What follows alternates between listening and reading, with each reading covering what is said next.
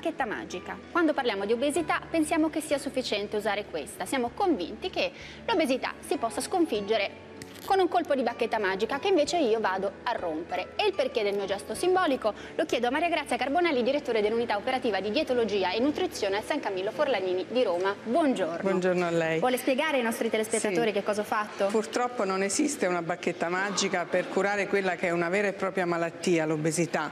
Per fare questo bisogna cambiare lo stile di vita e questo vuol dire scegliere dei giusti cibi per il nostro organismo ed aumentare l'attività fisica. E questo è il messaggio messaggio che quest'anno, il 10 ottobre, nell'Obesity Day viene dato in tutta Italia è quello di fare un primo passo per cambiare queste abitudini. Questa giornata del 10 ottobre si, potrà, eh, si svolgerà in tutta Italia, ci saranno 200 centri che daranno ai pazienti informazioni sulla giusta alimentazione, sulla buona attività fisica, ma soprattutto indicheranno quali sono i centri a cui si possono rivolgere chi ha bisogno di perdere peso. Anche perché si dice, professoressa, che l'obesità l'obesità sia la madre di tutte le malattie. Esattamente, l'obesità è alla base del diabete, alla base delle malattie cardiovascolari, della steatosi epatica, quindi curando l'obesità noi preserviamo il paziente da queste complicanze oppure se ha già queste complicanze possiamo ridurre la terapia farmacologica dei pazienti che usano farmaci per questi problemi.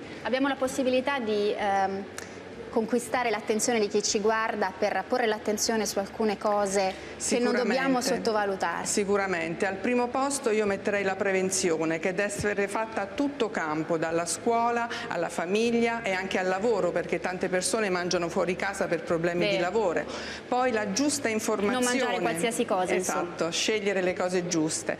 Non, eh, la giusta informazione è importante perché i pazienti non devono seguire dei falsi miti alimentari come spesso succede è importante anche che l'industria ci aiuti a mettere sul commercio dei prodotti sani, buoni per la nostra salute a un giusto prezzo in modo che tutti i pazienti possano acquistarli. Ci devono essere delle strutture pubbliche a cui i pazienti si possono riferire su tutti i tipi di obesità, da quella semplice fino ad arrivare a quella più grave che magari ha bisogno di un intervento di chirurgia bariatrica. E poi speriamo che l'industria farmaceutica e la ricerca ci aiuti a trovare un farmaco sicuro che possiamo possiamo utilizzare a lungo termine perché mm. l'obesità è una malattia cronica e serve per i pazienti ma serve anche per i medici che curano questa malattia che si trovano a curare una patologia senza farmaci. I chili di troppo non vanno mai sottovalutati specialmente per i più piccoli? Assolutamente no, l'obesità infantile è un'epidemia nell'epidemia, il paziente, il bambino obeso è quasi sicuramente sarà un adulto obeso se non viene curato dall'infanzia mm. e bisogna sfatare il mito che il bambino obeso non ha complicanze perché le complicanze sono le stesse dell'adulto, quindi se curiamo l'obesità da bambini sicuramente siamo più sicuri di essere poi adulti sani. Un consiglio per le mamme a casa?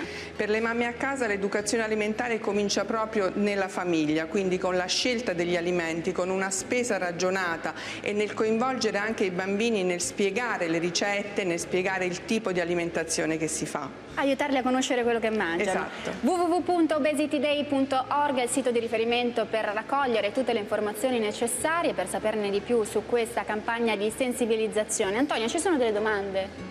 che c'è tantissimo interesse per questi argomenti che abbiamo affrontato. Abbiamo delle domande per ciascuno dei nostri ospiti. Iniziamo dal dottor De Servi. Scrive Raffaele da Lucca. Si può sostituire un vecchio stand con uno di nuova concezione? Ah. Eh, no, direi che non è assolutamente indicato eh, fare una cosa di questo genere perché, perché? lo stem metallico viene riassorbito eh, una volta che è stato impiantato viene riassorbito nella parete del vaso e quindi se ha fatto bene il suo lavoro e la placca è stata dilatata ed è bene in sede non ha senso sostituirlo. Nel caso che il paziente abbia una eh, recidiva mm. di malattia e si presenti una placca in una sede diversa si può pensare di utilizzare il, eh, il, nuovo tipo di stent, ma sostituire un vecchio stent con uno di, di, di, di questo tipo non è, eh, non, è, non è, consigliabile. Per la dottoressa Carbonelli scrive Marta di Torino e chiede ci sono sviluppi nella dieta in base al DNA?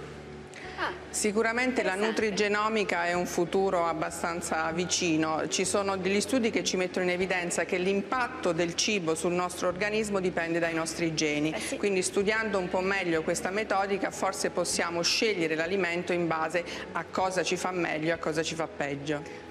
Benissimo, allora non ci resta che ricordare il sito internet www.obesityday.org, l'appuntamento con la medicina per domani, adesso TG1.